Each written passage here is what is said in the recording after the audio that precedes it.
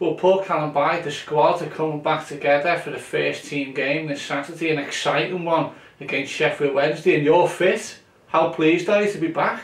Yeah, no, um, I'm pleased to come back. I'm like, I've been out since I think five, six weeks, um, so I'm just pleased to train literally with the team, um, and then obviously excited for the game on Saturday. And how much of the behind the scenes people helped you, the medical team? Yeah, like Tim, Tim helped me loads, like keep me positive, um, and with his training and the rehab, the program he gave me, so I was gaining confidence every week throughout my rehab. Uh, mentally as well, helped me a lot. Like we got to know each other even more. Um, so I think in that way, I would like to thank him um, for that because the work that he's done with me, no one sees it. And they just see on the pitch and you're fit, but so much goes into it in the background. So yeah, that was great. How difficult was it that you know you start the season, you get opportunities in the team, you're playing well, you score, and then injury happens? Yes, unfortunate. Um, nothing much you can do about it. It's just one of those things you can't avoid. But for me, my main thing has always been the team. So when I have to play, I'm called up on. I'll do everything, give the team hundred um, percent. Then if someone else is playing, then you think, what's next? So you just got to encourage. Um, so as long as the team is doing well, I'm happy with it. And obviously, I'm gonna play my part if I'm playing, and if I'm not, I'm still gonna play my part because we're all in it together. So yeah, I was doing well, got injured, um, but got back up. I'm back now, so I'm excited. It's great to have you back. Uh, talk us through what your Saturday has entailed while you've been out. Yeah, when I've been out off most Saturdays, I'll go um, watch the game if we're at home. Um, away, I would just listen to the games because you can't watch it. And yeah, I just always give feedback to the players. Um, if we come back in training ground and we do analysis. I'm like, yeah, I was watching the game, could have done this better, could have done better. Um, obviously, always learning from it because you always like put yourself in the, someone else's position because as they're playing, you can learn one or two things from them. So it was quite interesting. Like I became more of an analysis type of guy than the player. Okay. Um, so in that aspect, it quite it helped quite a lot. So yeah. So Does it make you think about coaching in the future, a long time ahead?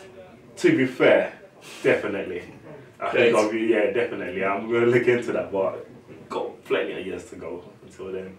Not, not after listening to his radio performances, not following in the footsteps of your colleague here, Rob, or the, the commentary that you've been listening to. No, honestly, it was great when Dapo scored away. It was like, yeah, and Dapo goes through and it's a goal. I was like, yes. Great.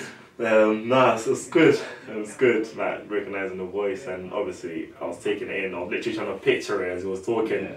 like what's going on um, was good. And your last one was an appearance, you scored your first club goal. What about when you scored for the academy? Tell us about that. It's still fresh in your mind. It's yeah, no. Come on, Tommy! Come on, come on, Captain! Captain!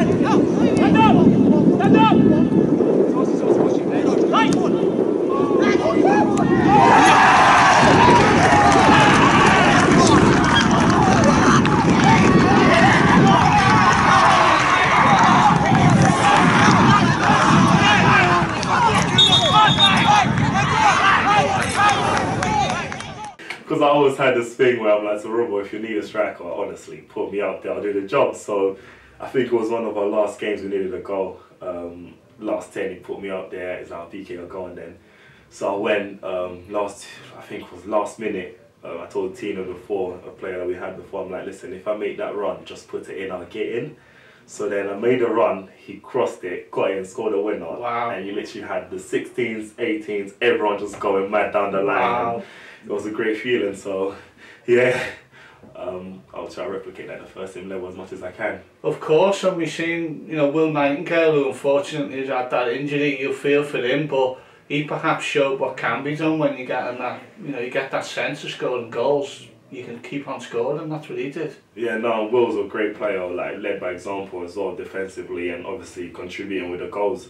So it's like we set ourselves targets as defenders, and he was literally two away from his target. So unfortunately got injured and honestly I did not wish rehab on anyone. I know how hard it is and I've been through it and I know he's been through it a lot so we just try to support him as a group um, and wish him all the best with his recovery.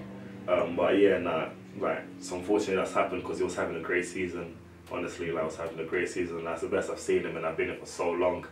Um, things like that do happen. So just waiting for him to come back and yeah, it was can't wait. How's your FIFA gaming career going after that clash with the professional gamer last year? After that, I retired. I retired. I can't play the game anymore. Really? Yeah, it's mental health now. It's too hard. It's too hard.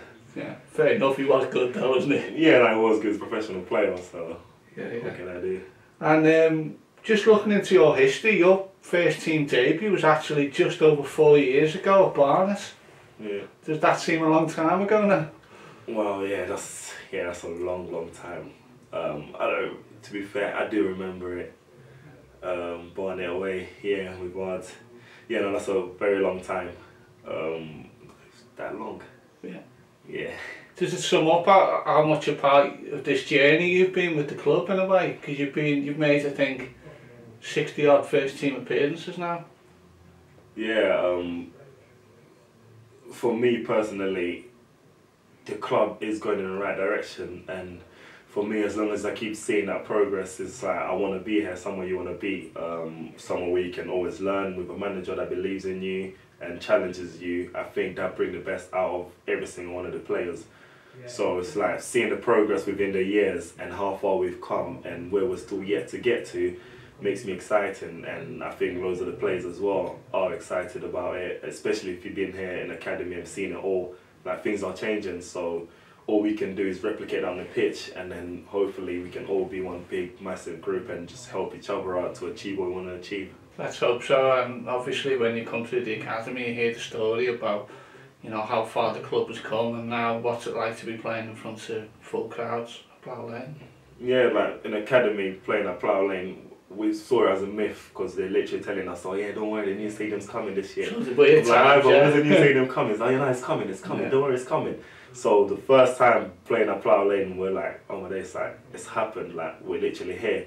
And we had Will Knight, um, Will um, Harty, like loads of academy players play at Plough Lane after hearing about the story since they were young. So for me, like it's just showing what's happening at the club now. Like we're just moving in the right direction. New stadium now, players who want to play for the club and believe in the story of the club. Um, as you know, is the greatest story of football. So we're trying to carry it on, and yeah, I think it's great.